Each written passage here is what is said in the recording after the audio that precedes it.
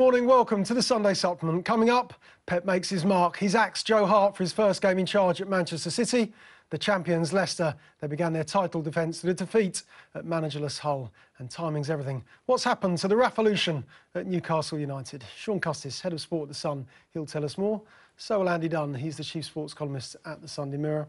And Henry Winter is the chief football writer at The Times. Morning to you guys, good to see you. As ever, don't forget, you can tweet the show at Sunday Sup the cleanest will appear on your screen over the next 90 minutes. OK, let's have a look at some of the papers this morning. This is the Sunday People. Pressure's on Leicester already. They lose at Hull yesterday from champs to chumps. First game of the season, a defeat for them at managerless Hull. Pressure on this man as well, Joe Hart. Joe, no, Joe, no, didn't play yesterday for Manchester City. Willy Caballero instead. Andy Dunn was at City. We'll talk to him more about that in a moment. The Sunday Mirror, if you can find it, inside their, well, with all their Olympics coverage on the back page this morning, heartbroken. This is Pep axing Joe Hart, and welcome to Hull. It was hell yesterday for the champions. Leicester, Pep feeling the heat, but he did get off to a winning start yesterday. 2-1, Paddy McNair's own goal helped them out right at the end. Back page of The Sun, Pep's war with City. The City Manchester City board over the selection dilemma. He was ruthless yesterday, though, Pep Guardiola, by making that decision. It's also on the back page of The Mail on Sunday. Hart axed but Pep got lucky yesterday at the Etihad. A winning start for him. We'll talk about that in a moment. But um, first, we should just alert you to a, um, a break from the past, really, and um, a move into the future on the Sunday Supplement, because um, after reading Henry Winter's column this week, uh, we're no longer going to blast anyone shout anyone, be furious with anyone. you, um, you, will, then. We're going to take a more measured, uh, cerebral approach to, uh, to affairs on this table because you've had enough of everyone blasting Wayne Rooney and blasting Gary Neville or blasting the England team or blasting Roy Hodgson, It's after having spent a summer with you in France. I just thought we might want to bring a little bit more intellectual debate in. Yeah, OK. Well, we're going to give it a go this morning, right, see, how we, see how we can get I'll on. Give you it can mark minutes. us out of 10 at home. We mark the players. um, you can mark us out of 10 at home. At Sunday Sup, you can tweet us during the programme. Let's talk to Andy now about City, because you were there yesterday. You wrote about Joe Hart this morning and the... And the well, it was bold or brave or ruthless decision by, by Guardiola, but what does the future hold for, uh, for Joe Hart now? Well, you mentioned the word ruthless um, at the top of the show, and, you know, it, it's been bandied around an awful lot today, but that's what it was, because the ramifications of that decision, you know, are huge, really. I mean, in the press conference after the match, he was pressed, as you can imagine, Guardiola, on why he dropped Joe Hart. He wasn't particularly committed. He just basically said that Caballero had had a good pre-season, had worked more with the players than Joe Hart, because he was back earlier than Joe Hart.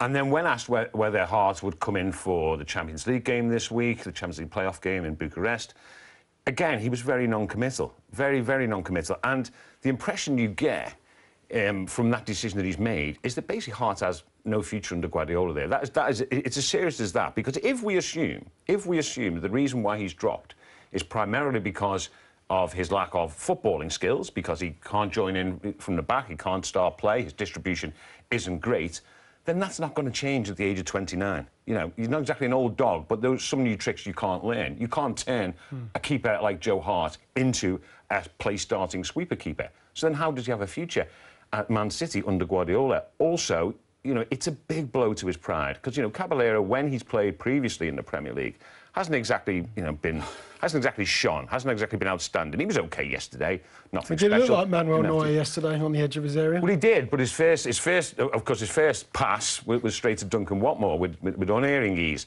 So uh, uh, that wasn't great. So there's no way, really, Caballero can be the long-term replacement for Hart. So I would assume Hart will still be there unless Guardiola can get a replacement, whether it's Ter Stegen, in before the transfer window ends.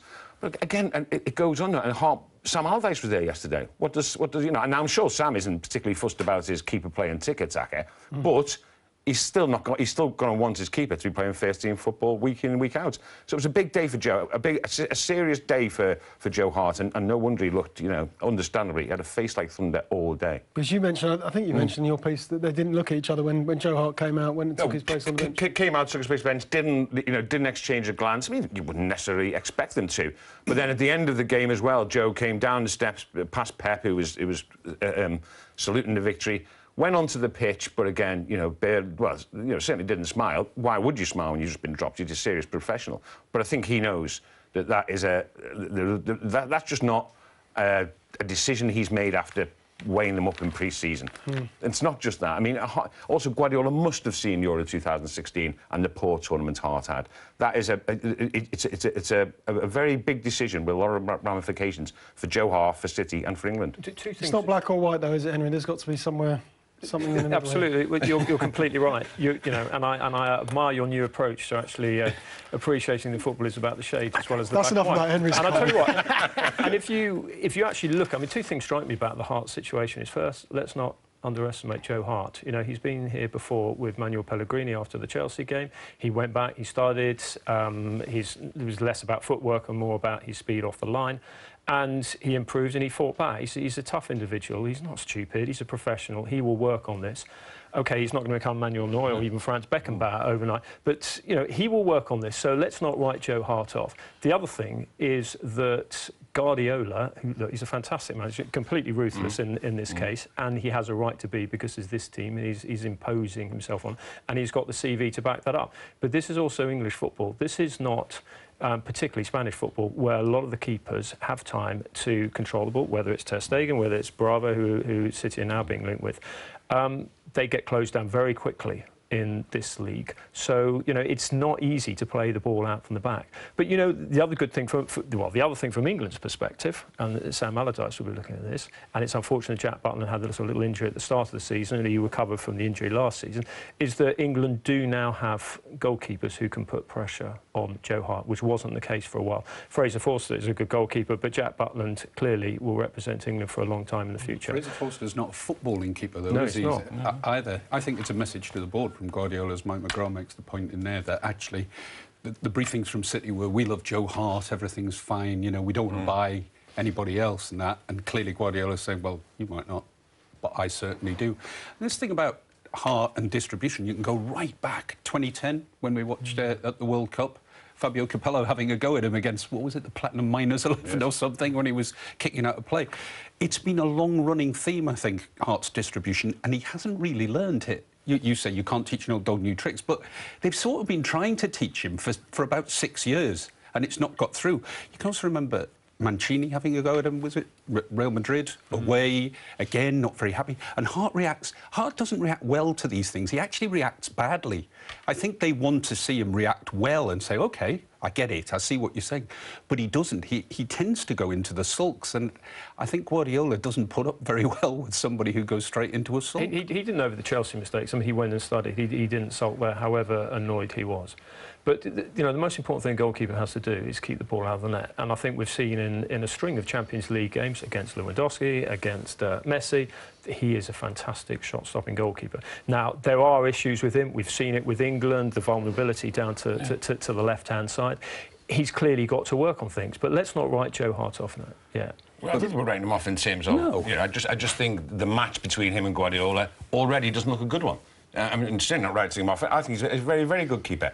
Um, I think it was unfortunate what happened at Euro 2016. I think he'll get over that. I think he'll, he'll still be England's keeper.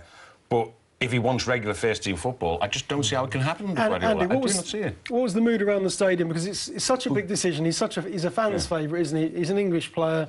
He's seen as a Manchester City player yes. through and through. All the mm. Golden Gloves that he's won throughout his career. But then there's the Guardiola effect. What was the, because in the past under Pellegrini or Mancini, make that decision, all of a sudden there'd be a lot of nervousness yeah. around the stadium.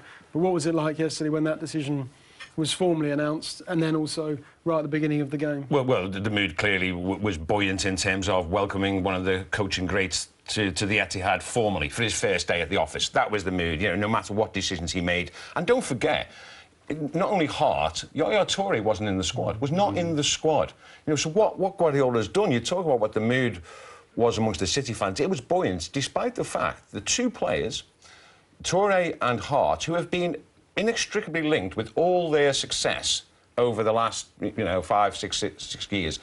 They were, they were, they were, you know, well, Hart was on the bench, which was almost more ignominious than actually Toure not even being in the, in the match day squad, which is incredible, really. But that didn't matter because the mood was Pep's here. We've got Pep Guardiola, one of the coaching greats here. It was one of optimism. They were, and then of course City actually started well. They didn't actually play very well over the entire piece, but the first 10, 15 minutes they started well. They started, you know, with, with, with sort of a demonic zeal, and that's what the, the, the, fans expected from a Guardiola team, chasing everything. 80% possession in the first you know half an hour, and they love that. So so that that over over from a fan's point of view, the Hart thing didn't really well. Of course, it registered, but that wasn't an issue.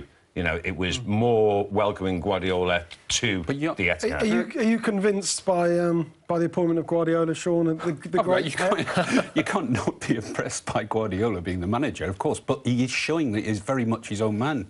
Now, previously, the board, when they give a sort of briefing or indicate how they're thinking, that tends to be how it goes.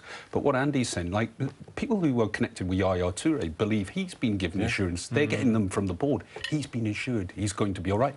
Wilfried Bony was assured he was going to be all right not that long ago as well. And now you've got, you, and you had publicly a bit of a statement from Guardiola saying, yeah, Hart to start will be my number one. He was sort of supporting the ball. But actually, he's gone and said, I am my own man. Whatever you think I'm mates with Txiki and all and Ferran and all that, he's clearly saying, I will do it my way. I think it's very interesting. It would have been very easy yesterday, wouldn't it, to say, OK, I'll start with Joe Hart and a bit of Yaya Toure, and then I'll make my changes. But he hasn't done that. He's done it straight away, and everybody's gone, whoa, hang on, this is going to be very different. And even though, actually, in press conferences, I don't think he's, it comes over particularly as that exciting. What he does sort of with his with his actual actions is really really interesting. With our new approach, though, Henry, you, you won't be happy. though. It's taken. He'll let this go in a minute, because- I know. I, this is the final. I love, But- I love the new unit. But it has it has taken it because the, the agenda before the game was the the great Pep, the great team. We can't wait for them for, Yeah. for them to start wowing us, and we'll be drooling, and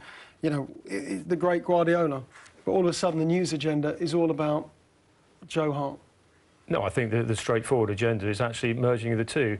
Um, again, seeing the nuances, uh, you know, behind the headlines, Neil, which is the fact that you've got. you, I just I just read Neil, the headlines and you do. You, you love the headlines. Read the copy. Now, now what, what is interesting is that we, we have got, and we should be impressed by having one of the, the greatest coaches, not of the modern era, but ever in football, coming to us. And you know, we should listen to him. We should learn from him. And I I think that just embellishing Sean's point is that it's not just the impact on us, the fact that he's dropped Joe Hart, the message it sends out to the other players. You know, I mean, Raheem played well yesterday, I thought, but he's going to have to raise his game. Everyone in that team's going to have to raise the game because they know how ruthless Guardiola is now. signed John Stones um, in the Yes. week, Andy. Played played yesterday alongside uh, Kolarov, didn't he, in the centre of, of City's defence.